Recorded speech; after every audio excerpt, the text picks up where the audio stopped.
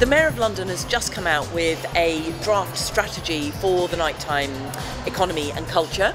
and so the London Assembly Economy Committee is scrutinising that, and we're going to tell the Mayor what we think of his strategy. We see the nighttime economy as a fundamental part of the uh, ongoing wider economy in Croydon and the growth in Croydon.